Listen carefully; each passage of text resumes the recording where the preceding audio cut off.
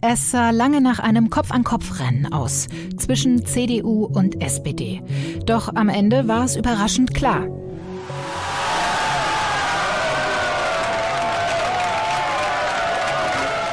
Jubel bei der CDU in Nordrhein-Westfalen. Bei der Landtagswahl holt sie fast 36 Prozent der Stimmen und die SPD mit knapp 27 Prozent das schlechteste Ergebnis jemals in NRW. Die bisherige schwarz-gelbe Landesregierung ist allerdings abgewählt, weil die FDP regelrecht abgestürzt ist.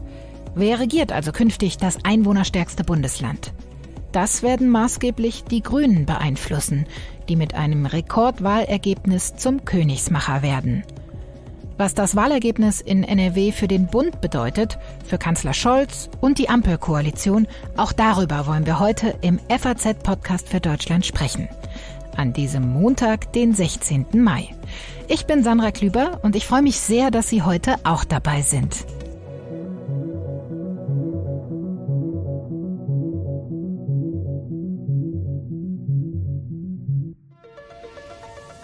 Wir, die CDU in Nordrhein-Westfalen, hat diese Wahl klar gewonnen.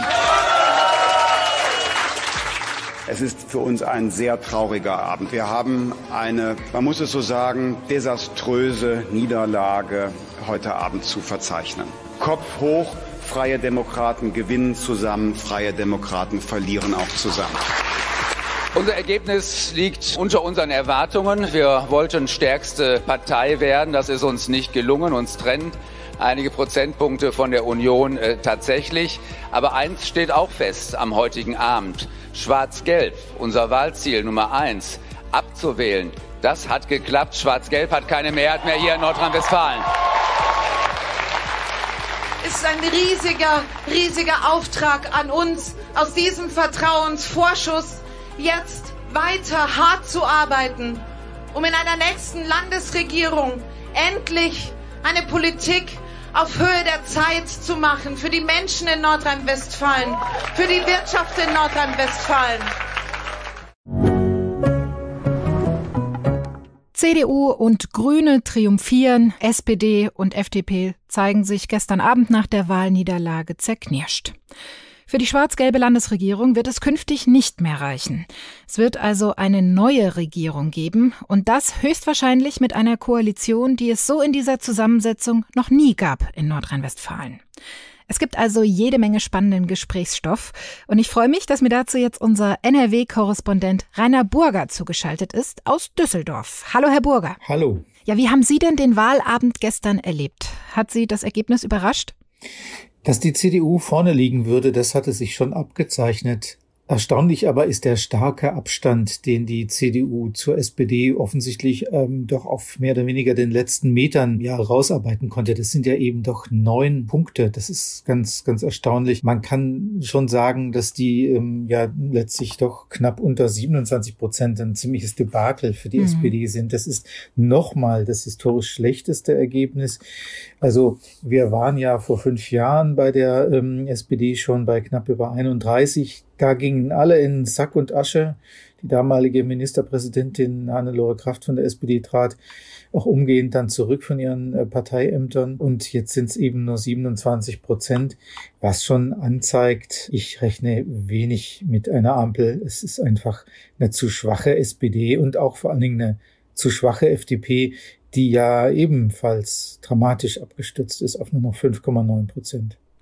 Haben Sie denn äh, damit gerechnet, dass die FDP tatsächlich dann auch so massiv abstürzen wird, äh, wie es jetzt der Fall war und sie ja ganz knapp sozusagen überhaupt die 5-Prozent-Hürde noch genommen hat? Das war so tatsächlich nicht in dieser Dramatik zu erwarten. Was klar war, äh, war, dass die FDP stark verlieren würde. Aber eigentlich haben die Demoskopen sie so immer so bei acht Prozent noch gesehen. Mhm. Das hätte unter Umständen reichen können, um mit Anstand dann ja eben eine Ampel zu bilden. Aber mit 5,9 Prozent, da ist die FDP faktisch durch den Fleischwolf gedreht worden. Also man muss sich das vorstellen, äh, durch den Fleischwolf gedrehte FDP eine deklassierte SPD, mhm. bilden mit sehr, sehr starken Grünen eine Ampel. Ich sage mal, naja, das ist schon ein eingebauter Konstruktionsfehler und wird einfach sehr wahrscheinlich nicht stattfinden, allein schon deswegen. In den vergangenen 16 Jahren hat es vier Regierungswechsel in Nordrhein-Westfalen gegeben. Da ging es immer hin und her zwischen Schwarz-Gelb und Rot-Grün. Für diese beiden Koalitionen wird es diesmal zahlentechnisch nicht reichen. Ich höre bei Ihnen schon eine gewisse Skepsis bezüglich der Ampelkoalition raus. Das heißt, es wird wahrscheinlich auf Schwarz-Grün hinauslaufen? Ja, sicher. Also ich glaube, dass dieses Land tatsächlich aus sich heraus eine ähm, stabile Regierung braucht und dass die äh, handelnden Akteure das auch so sehen. Und zwar im gesamten demokratischen Spektrum. Äh, die Skepsis, die man, wenn man gewisse O-Töne von Sozialdemokraten hört, da eben auch wahrnehmen kann bezüglich einer Ampel, die ist schon, schon ähm, erstaunlich deutlich. Natürlich ist das noch so, dass man eine gewisse kleine Option sich offen hält. Aber machen wir uns nichts vor. Das würde nur zustande kommen, wenn Schwarz und Grün sich komplett verkrachen. Das wird im ersten Schritt nicht passieren. Der erste Schritt heißt Sondierung. Man wird auf jeden Fall, das ist meine Prognose, in eine Koalitionsverhandlung reingehen. Und wenn man erstmal eine Koalition verhandelt, dann zielt man schon auch darauf, dass es auch ein Bündnis werden wird. Ich glaube, der gesellschaftliche Wandel ist so weit vorangeschritten, dass ähm, diese große Zeit der Unverträglichkeit zwischen den äh, Lagern, die gibt es so nicht mehr. Ja, zumal äh, man ja auch unweigerlich an die Worte des heutigen SPD-Chefs Lars Klingbeil denken muss der nach der Bundestagswahl als Armin Laschet als Zweitplatzierter auch über Jamaika verhandeln wollte, noch Folgendes gesagt hat. Also das ist schon erstaunlich, dass Armin Laschet bei diesem historisch schlechten Wahlergebnis, wo er ja auch als Kandidat abgestraft wurde, dass er einen Anspruch auf das Kanzleramt erhebt. Und da bin ich wirklich gespannt, ob FDP und Grüne mit einer Partei, die so deutlich verloren hat, wenn man mit denen ernsthafte Gespräche führen wird. Ja, das macht deutlich, dass die moralische Fallhöhe, die man selbst konstruiert, einem selbst treffen kann zum gegebenen späteren Zeitpunkt. Mhm. Und an sich ist es natürlich nicht illegitim, auch aus der schwächeren Position heraus eine Regierung zu bilden. Es hat in der Geschichte der Bundesrepublik immer wieder gegeben, sowohl auf Bundesebene als auch hier auf Landesebene. Aber unter den spezifischen von mir vorhin beschriebenen Bedingungen, Stichwort Fleischwolf und deklassierte SPD, halte ich es für praktisch ausgeschlossen. Hm, denn für die SPD ist es ja nach der Landtagswahl in Schleswig-Holstein eine Woche zuvor ja schon die zweite Schlappe eigentlich auf Landesebene. Was sind denn Ihrer Einschätzung nach ja die Gründe für das schlechte Abschneiden der SPD und welche Rolle spielt da auch der Spitzenkandidat Thomas Kutschaty? Ja, das äh, ist völlig richtig. Das ist schon heftig. Also dieser zweite Einschlag äh, verstärkt quasi die Wirkung des ersten Nochs und erklärt die Gesamtwirkung. Das ist eine Sache, die natürlich der Bundes-SPD erheblich Probleme bereitet. Jetzt schon, man sieht das auch. Und ähm, was ein verstärkendes Problem ist, dass äh, man mit gutem Grund sagen kann, dass es auch Olaf Scholzens ähm, äh, ja, persönlicher Teilniederlage ist. Denn er hat sich hier sehr engagiert, bis hin, äh, dass hier Doppelporträtplakate mit Scholz und Kutschaty geklebt wurden.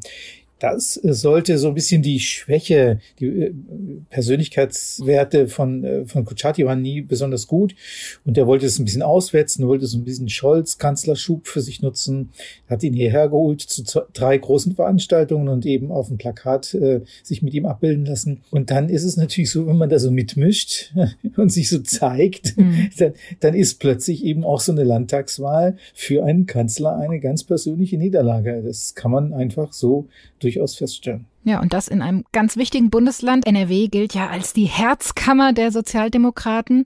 Und ich habe mir heute mal die Karte mit den Wahlkreisen in NRW angeguckt und dann sieht die ja ziemlich schwarz aus mit vielleicht ein paar grünen und roten Sprenkeln und nur in der Mitte da schlägt bildlich gesprochen das rote Herz, da wo das Ruhrgebiet ist. Da konnte die SPD gestern noch punkten. Genau, wobei man ähm, ehrlicherweise auch sagen muss, Herzkammer bezog sich maximal aufs Ruhrgebiet mhm. oder auch womöglich nur auf Dortmund. Das geht auf einen sehr, sehr schönen Spruch von ähm, dem legendären Fraktionsvorsitzenden Wehner zurück, der eben Dortmund mal als Herzkammer bezeichnete. Aber das stimmt schon, man sieht, ähm, dort geht es noch, da kann man mit diesen, äh, ich sag's mal, ja, relativen Siegen, die es dann ja eben sind, äh, direkt Mandate holen. Mehr ist da aber auch nicht. Mhm. Dann der Ehrlichkeit halber muss man auch sagen, die ländlichen Regionen sind bis auf gewisse Ausnahmen schon traditionell eher der CDU zugeneigt. Und das wiederum erklärt auch, warum Wüst dieses Wahlergebnis erzielen konnte, was vielleicht manche, die das Land nicht so genau kennen, überrascht hat. Weil es eben solche Traditionsmilieus gibt, gerade mhm. in eher ländlichen Regionen, die sehr treu auch zur Wahl gehen beispielsweise auch dann, wenn andere nicht zur Wahl gehen, was wir hier gesehen haben, geringe Wahlbeteiligung, aber die Kernklientel, die älteren äh, CDU-Wähler sind eben wieder treu zur Wahl gegangen und das reicht dann für ein solches ähm, prozentuales Ergebnis von 35,7 Prozent. Das soll das gar nicht schmälern. Mhm. Es verweist im Grunde nur darauf, dass es eben nicht nur eine Binse ist, entscheidend ist, wer besser mobilisiert. Ja, die FDP, die hat es offenbar nicht geschafft, ihre Wähler zu mobilisieren. Die sind wirklich also rasant abgestürzt und Hendrik Wüst als Ministerpräsident muss sich also ein neues Regierungsbündnis suchen. Er hat gestern Abend äh, natürlich schon bedauert, dass äh, die FDP so viele Stimmverluste eingefahren hat. Gleichzeitig hat er aber schon gestern Abend auch ja doch immer wieder einen Blick auf die Grünen geworfen. Zum Beispiel gesagt, jetzt müsse Klimaschutz und das Industrieland NRW versöhnt werden. Versucht er damit, die Grünen für eine Regierung zu gewinnen? Wie kann er das schaffen? Das versucht er natürlich. Im Grunde ist es ja die einzige wirkliche stabile Konstellation und mhm. wenn zwei Wahlsieger zusammengehen, hat das natürlich immer ein, sowieso aus sich heraus einen Charme. Was er da formuliert hat, ist aber nicht aus der Situation heraus formuliert. Es ist im Grunde doch heute Konsens unter den ernsthaften, unter den demokratischen Parteien, dass das Thema Klimawandel und Transformation, Umbau der Industriegesellschaft hin zu einer klimaneutralen Gesellschaft, klimaneutralen Wirtschaft ganz, ganz entscheidend ist, um Deutschland überhaupt als Industrienation zu erhalten und hier die Arbeitsplätze zu halten. Hier haben sich so gesehen beide Lager jeweils aus ihrer Richtung kommend aufeinander zubewegt und haben erkannt, es ist eigentlich ganz interessant unter ökologischen Aspekten und Rahmenbedingungen ökonomisch zu handeln. Mhm. Und ich glaube auch, dass das tatsächlich eben dann mehr als nur eine Notlösung sein kann und sein wird, was dort entsteht. Mhm. Es hatte sich ja auch schon lange vor der Wahl abgezeichnet, die Grünen könnten die Königsmacher werden, aber dass sie wirklich so stark sein werden und ihr Ergebnis fast verdreifachen, das war dann schon eine Überraschung, oder? Ja, das war eine Überraschung, weil man muss auch da sehen, in Nordrhein-Westfalen ist es kein besonders leichtes Terrain, sehr, sehr lange gewesen für die Grünen. Die Grünen sind hier tatsächlich so eine Art verspätete Partei. Was viele nicht wissen, ist, dass äh, die Grünen erst seit 1990 überhaupt im Landtag äh, sitzen. Also äh, auch, sage ich mal, so ein grünes Stammland wie ähm, Baden-Württemberg ist Nordrhein-Westfalen einfach nicht. Die Grünen haben sich in einem sehr langen und auch sehr wechselhaften Lauf erst entwickelt zu dem, was sie heute sind. Sie hatten immer wieder auch ganz herbe Rückschläge, noch zuletzt 2017, wo sie ja auf 6,4 Prozent abgerauscht hm. waren. Und ähm, das verweist schon darauf, darauf. Ähm, da war die Substanz noch nicht so stark. Die Zeiten sind auch da anders. Grünen waren sehr stark bei den letzten Europawahlen und aber auch ganz besonders wichtig bei den Kommunalwahlen 2020 haben sie zum ersten Mal etwas geschafft, was sie woanders schon vor Jahren geschafft hatten. Sie haben zum ersten Mal in Nordrhein-Westfalen Oberbürgermeisterposten mhm. besetzt. Auch das wissen viele nicht. Dieses große Bundesland NRW, da gab es bis 2020 keinen einzigen grünen Oberbürgermeister. Das ist jetzt in Anführungsstrichen nachgeholt mhm. und führt dann auch ähm, ja zu einer Befestigung. So eine Partei wird dadurch natürlich stabiler, ist insgesamt verankerter, ähm, hat es auch viel leichter zu wirken und ähm, auch dann eben ein, ein sehr viel besseres Ergebnis auf Dauer zu erzielen und zu behalten. Das heißt, Sie würden sagen, es ist einfach ja so ein bisschen die Zeit der grünen Themen angebrochen, auch in Nordrhein-Westfalen, weil man hat von, von Seiten der SPD dann oft gehört, dass vielleicht auch Thomas Kutschaty als Spitzenkandidat ein bisschen zu unbekannt war als möglichen Grund für das schlechte Abschneiden. Aber Mona Neubauer, Spitzenkandidatin der Grünen, äh, war jetzt auch nicht wesentlich prominenter. Das stimmt. Das ist ein ganz wichtiger Hinweis, den Sie da bringen. Die Grünen sind im Grunde fast unabhängig von Mona Neubauer, die mhm. eine sehr sympathische Person ist und sicherlich übrigens diese Persönlichkeitswerte extrem schnell ausbauen wird. Also das wird sie dann quasi nachholen. Aber was, was sehr, sehr spannend ist, ähm, ist, wir können in diesem Wahlergebnis schon den sozialen Wandel gespiegelt sehen und den Wandel in der Parteienlandschaft, aber auch, wenn man sich die Kompetenzzuschreibungen anschaut, dann haben die Grünen ganz erstaunlicherweise enorm zugelegt beim Thema Wirtschaft. Und mhm. das ist eine Sache, die vor allen Dingen der FDP ähm, im langen Lauf noch sehr zu schaffen machen dürfte. Und die Grünen bekommen plötzlich Kompetenzzuschreibungen, die man einer kleineren Partei früher nicht gemacht hätte. Also sie sind offensichtlich auf dem Weg in eine andere Sphäre.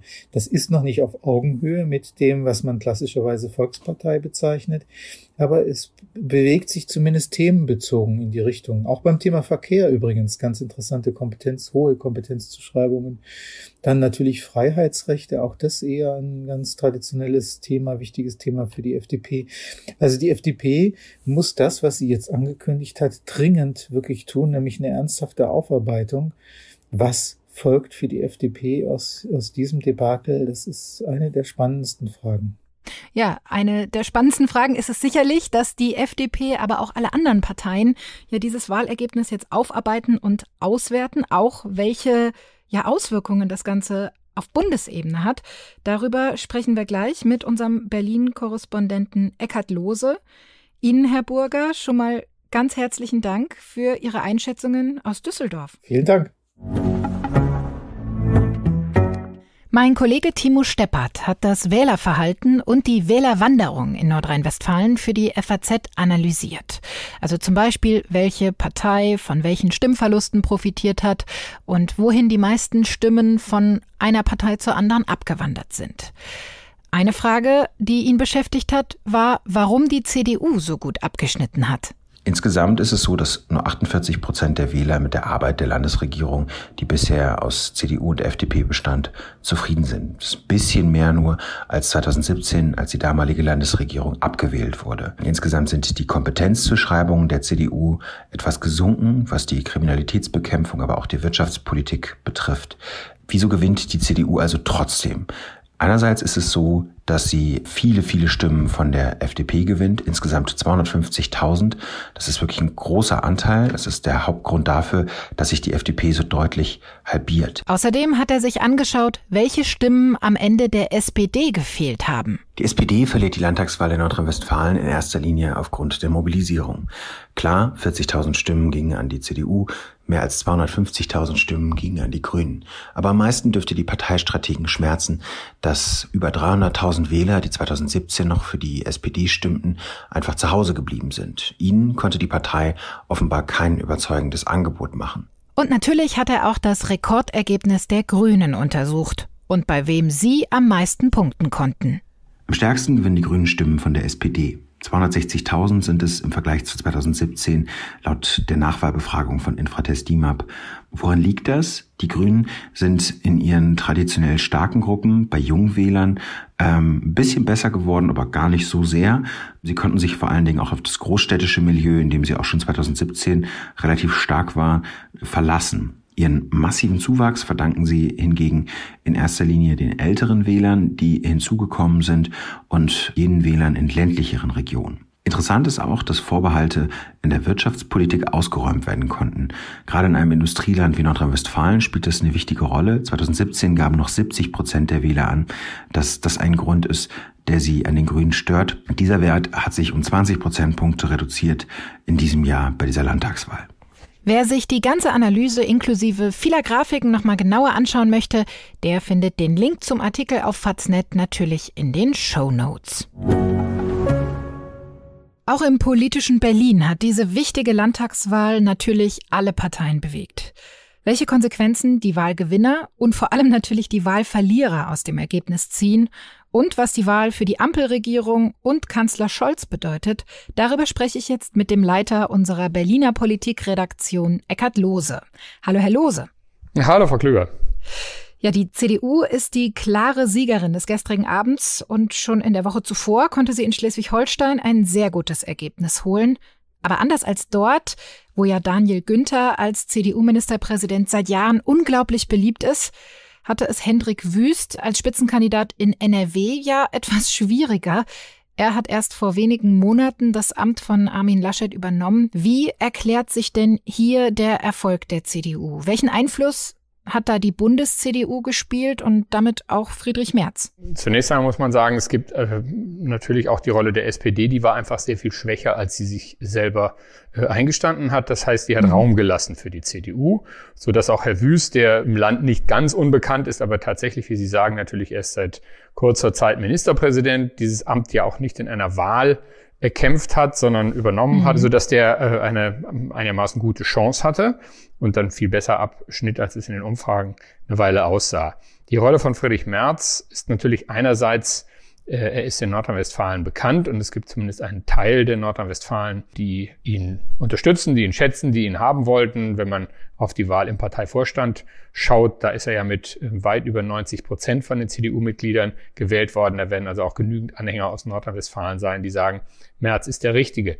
Noch entscheidender ist aber, dass seit 2018, seit der Ankündigung von Angela Merkel, sich aus der Politik zurückzuziehen, ja ununterbrochen Unruhe war äh, mhm. in der Union. CSU gegen CDU, aber auch innerhalb der CDU. Das heißt, die, diese Partei hat seit Jahren mit einer ungelösten Führungsfrage gelebt. Diese Führungsfrage scheint stabil beantwortet und fürs Erste gelöst zu sein, seit März nicht nur den Partei, sondern auch den Fraktionsvorsitz übernommen hat. Und ich glaube, dass das für ein gutes Wahlergebnis nach wie vor sehr wichtig ist. Mit Rainer Burger habe ich eben auch schon kurz drüber gesprochen.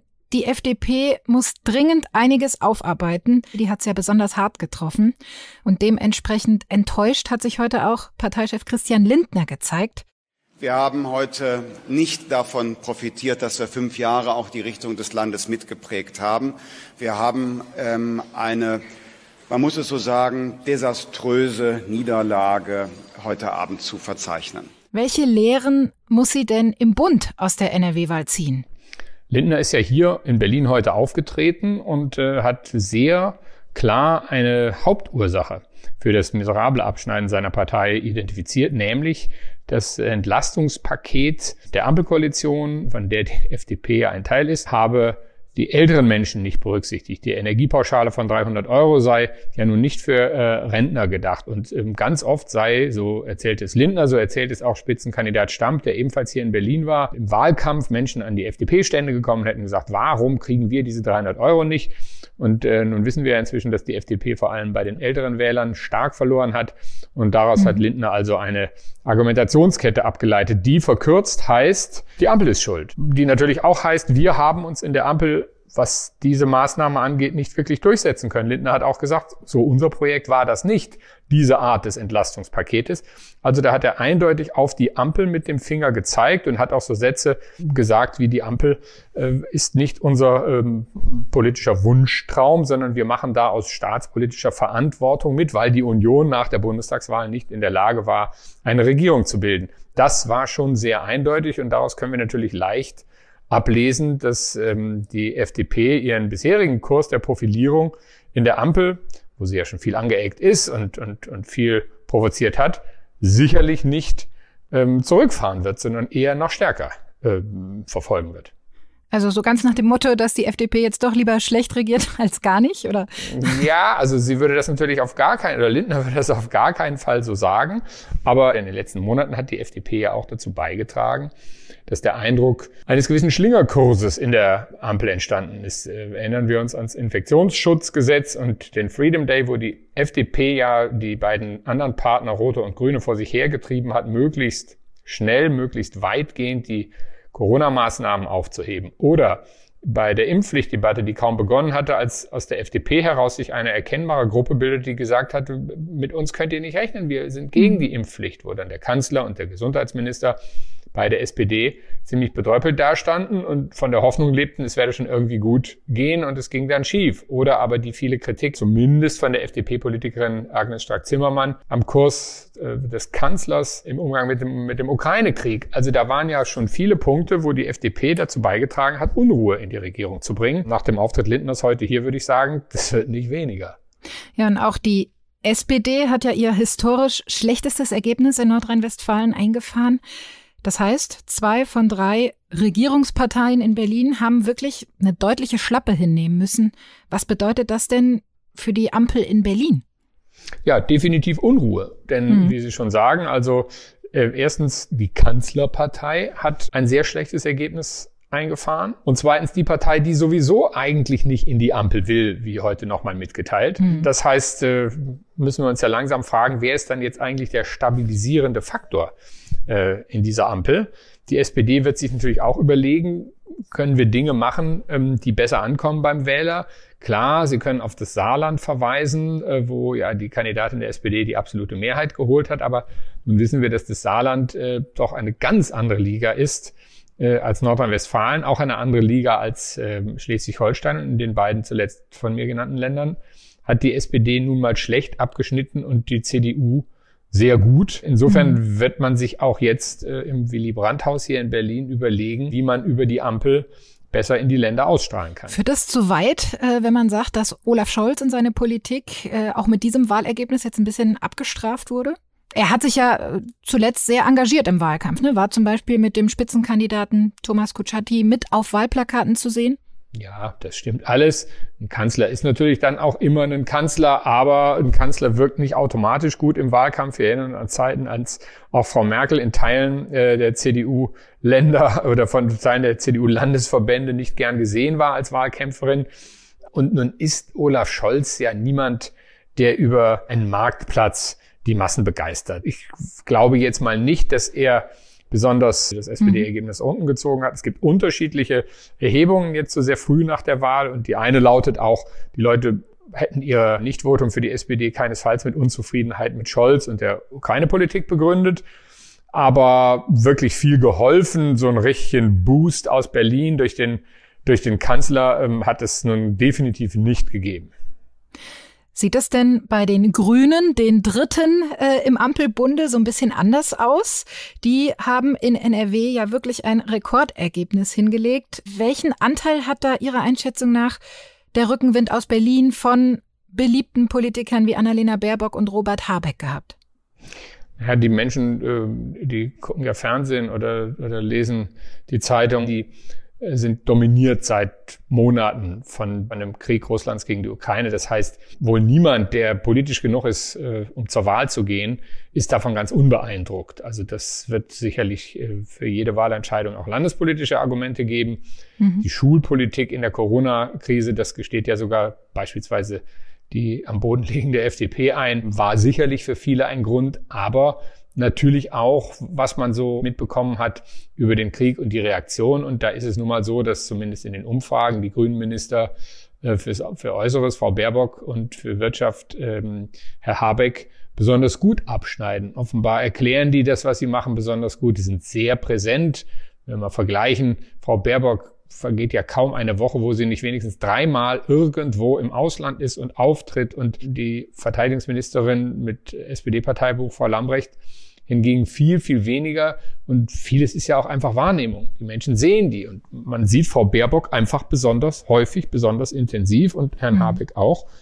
Das wird nicht wirkungslos bleiben bei einer, äh, bei einem so enorm guten Ergebnis, wie äh, die Grünen es in Nordrhein-Westfalen eingefahren haben. Ja, in Schleswig-Holstein und auch jetzt in Nordrhein-Westfalen könnte es darauf hinauslaufen, dass es eine schwarz-grüne Regierung gibt. Was würde das denn für die Grünen bedeuten, wenn sie eben in zwei äh, Ländern jetzt plötzlich mit der CDU koalieren, ähm, statt wie im Bund mit SPD und FDP? Also für die Grünen hieße das erst einmal, dass ein weiteres oder wenn es in beiden Ländern kommt, zwei weitere Flächenländer, äh, ein sehr bevölkerungsreiches wie NRW, schwarz-grün regiert äh, würden. Und wenn man das mal zusammenzählt, Hessen läuft still und, und seit langer Zeit mit einer einstmals so konservativen CDU und den Grünen in einem schwarz-grünen Bündnis, Baden-Württemberg in einem grün-schwarzen Bündnis, wenn dann noch Nordrhein-Westfalen dazu käme und Schleswig-Holstein, das wäre schon ein großer Teil Deutschlands, der dann, je nachdem wie, aber von Schwarz-Grün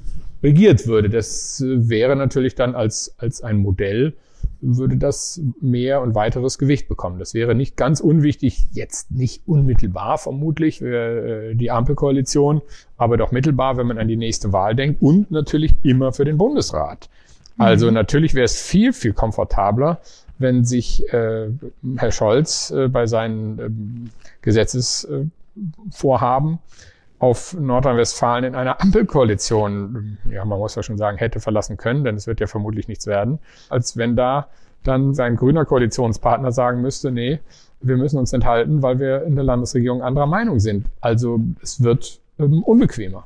Hm, Sie sagen es gerade schon, äh, die Ampel in NRW, die scheint doch äh, sehr unwahrscheinlich.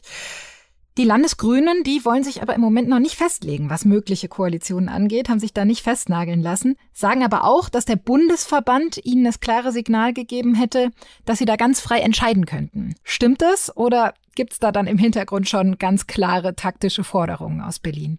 Naja, das wäre ja auch fahrlässig, wenn die sich jetzt schon festlegen würden, denn die Grünen sind eindeutig der Regierungsmacher. Wenn sie mhm. der SPD sagen, ihr braucht nicht mal bei uns zu klingeln, äh, das kommt gar nicht in Frage, dann äh, würden sie ja, sag mal, die Preise bei der CDU äh, mhm. die sie dort erzielen können, nach unten drücken. Das werden sie nicht tun. Sie werden erstmal sagen, wir gucken, wir reden mit beiden und schauen mal, was passiert. Nun hat die FDP sich schon sehr eindeutig äh, festgelegt und die SPD ja letztendlich auch, dass das wohl nichts wird mit dem Versuch, eine Ampel äh, zu bilden. Aber es ist ja klar, man lässt sich erstmal Optionen offen, bevor man sich dann festlegt. Und was äh, den Bundeseinfluss angeht, naja, natürlich äh, macht jeder Landesverband, was er will, aber ähm, das wäre auch wiederum naiv zu glauben, dass es da nicht Rücksprachen gibt.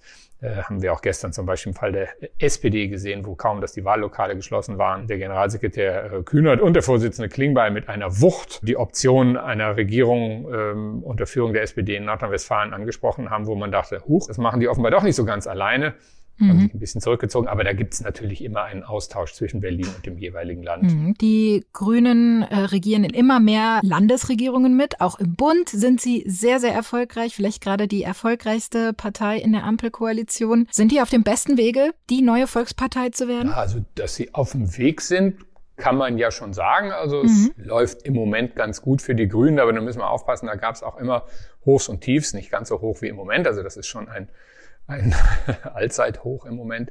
Aber wie gesagt, sie haben auch zwei äh, besonders beliebte Minister und die Grünen werden natürlich längst weit über ihre klassische frühere Kernklientel hinausgewählt, weil die Grünen ja auch mitgealtert sind und zudem eine neue Generation da herangewachsen ist. Wenn Sie mit Frau Baerbock äh, reden, die kennt natürlich noch die alten ideologischen Kämpfe der Fischers und Tritins, aber das mhm. ist, das ist für die Zeitgeschichte. Die ist viel weniger ideologisch und weite Teile der Grünen sind viel weniger ideologisch. Ich wundere mich deswegen immer so ein bisschen, wenn es heißt, wow, was für eine 180-Grad-Wende bei Waffenlieferungen. Also da haben die Grünen im Grunde genommen ja ihren ähm, friedenspolitischen Sündenfall äh, Ende der 90er Jahre gehabt. Also da ist jetzt eine Generation dran, die, die eben, die ist mit der Klimabewegung verbunden und Fridays for Future, aber viel weniger mit der Friedensbewegung. Das heißt, der Weg ist längst beschritten, aber Sie sind noch keine Volkspartei? Sie sind eine Volkspartei, wenn Sie alle Themen abdecken. Und ähm, da sind Sie dabei. Jetzt haben Sie einen Wirtschaftsminister. Nein, Außen- und Sicherheitspolitik ähm, haben Sie immer schon gemacht. Das haben Sie schon zu Joschka Fischers Zeiten äh, gemacht. Sie werden sicherlich in der Sozialpolitik noch ähm, viel tun müssen und vielleicht auch in der Finanzpolitik. Äh, ein heikles Thema bei den Grünen war lange Zeit die innere Sicherheit. Also ein grüner mhm. Innenminister oder Innenministerin wäre sicherlich noch was Neues. Aber ähm, mit solchen äh, Wahlergebnissen ähm, sind sie definitiv keine kleine Klientelpartei mehr. Vielen Dank, Herr Lose, für Ihre Einschätzung und das Gespräch. Gern geschehen. Damit sind wir am Ende der heutigen Folge angekommen. Ich bedanke mich bei Ihnen sehr fürs Zuhören und ich freue mich, wenn Sie auch morgen wieder mit dabei sind, denn dann haben wir ein sehr spannendes Thema für Sie vorbereitet. Es geht um die hitzig und emotional geführte Abtreibungsdebatte in Amerika. Aber wir schauen natürlich auch auf die Situation hier bei uns in Deutschland rund um das Thema Schwangerschaftsabbrüche. Denn hier soll nach vielen, vielen Jahren der umstrittene Paragraph 219a ja jetzt gestrichen werden aus dem Strafgesetzbuch. Ein sehr spannendes, sehr kontroverses Thema, aber dazu dann morgen mehr. Ihnen jetzt erstmal einen schönen Abend. Tschüss.